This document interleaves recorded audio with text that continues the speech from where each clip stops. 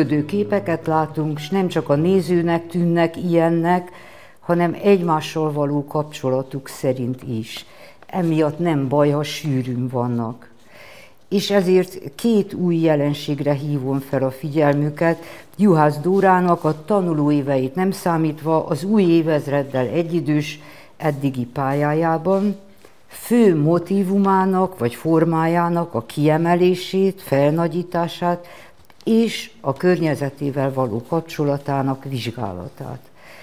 Utalnom kell itt a köztünk lévő párbeszédre, mely tulajdonképp Dóra és a saját munkái, illetőleg a festői eszközei között, esetemben pedig a velük kapcsolatba hozható művészettörténeti szakirodalommal folyik, miközben Dóra is pontosan ismeri azt a művészettörténetet, amelybe bátran bekapcsolódott, hogy ismeretlen irányba terelje, én meg inkább ugyancsak a képeit nézem, hogy szavakban pontosítani tudjam a róluk való beszédet, a korábban tett megjegyzéseimet is, hiszen Dóra ugyanezt teszi festőként képről képre a saját beszédjével.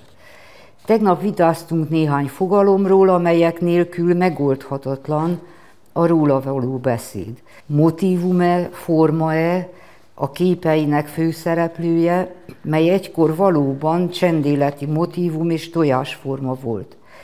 Abstrakt-e, a tojás motívumból elvonatkoztatott-e a festészete, Rastere az a képirend, amely szerint a motivumok megjelennek, és háttér-e az a világ, amiben megmutatkoznak.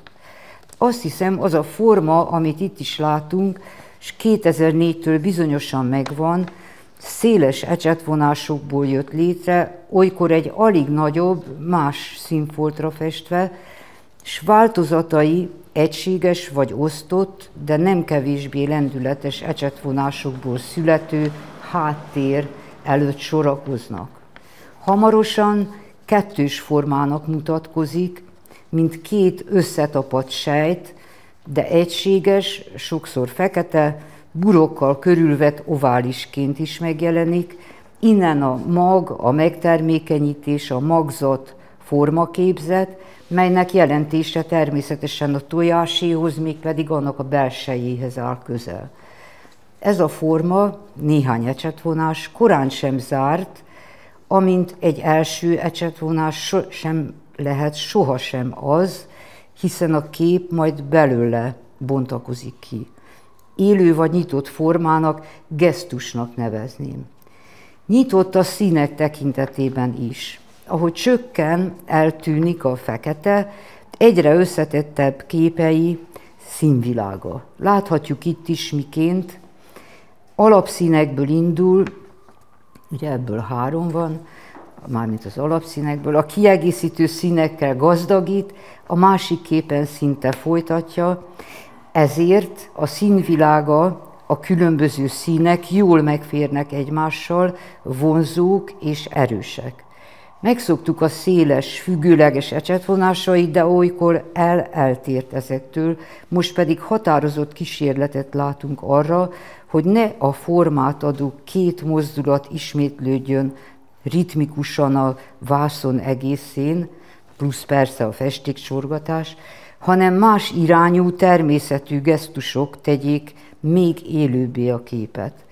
Természetesen ezzel a háttér helyett belép egy mozgásokkal telített világ, amely előtt rendeződni látszanak az, az eredetileg önálló energiahordozó kettős gesztusok. Sőt, azt is láthatjuk, ahogy összefüggésben a képtér felkavarásával a festészet tudományának nagy kincse, a fény is belopódzik a képbe, belülről világít. Nehogy azt higgyük, hogy elég ehhez némi sárga, és már ott is a fény. Meg kell ágyazni a színnek, hogy fény legyen belőle. Nyilvánvaló ebből, hogy nem háttér tehát a többi kettős gesztus körül élő tér, hanem maga a világ. Azt hiszem, mindenkinek, aki követi Dorka festészetét, örvendetesek ezek az események, hiszen ezekkel a lépésekkel egyre inkább bizonyítja első gesztusainak létét, élő voltát, egyúttal a nézőjét is az észlelésének összetettségében. Idézek egy mondatot, a világ struktúrájától kölcsönözzük mindazt, ami létrehozza számunkra az igazság és a gondolkodás univerzumát. Ezt egy filozófus mondja, aki a világ megmutatkozásával foglalkozik, mint fenomenológus. Az a rács szerkezet, melynek stabilitását állította, vagy megkérdőjelezte korábban a festő, átalakulni látszik minden ízében élővé, melyet egy-egy kitüntetett gesztus, gesztuspár, szín, egyetlen tónus képes tehát azzá változtatni.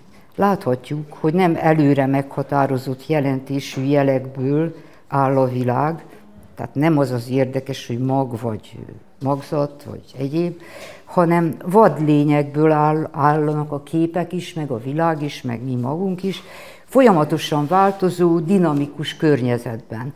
Ezek vagyunk tehát mi, ez a világunk, melyben megjelennek dolgok, emberek, mi magunk, jelenlétre törekednek, azaz nem a rend a lényeg, nagyon fontos, hanem ez az akarat, ez a sokféle akarat, melyek közé a festői intenció is tartozik. Hogy mit mutat fel a filozófia vagy a művészet ebből, az adja meg az értelmét a festménynek, meg a világnak. Kívánjuk, hogy Dorka minél többet tudjon megmutatni.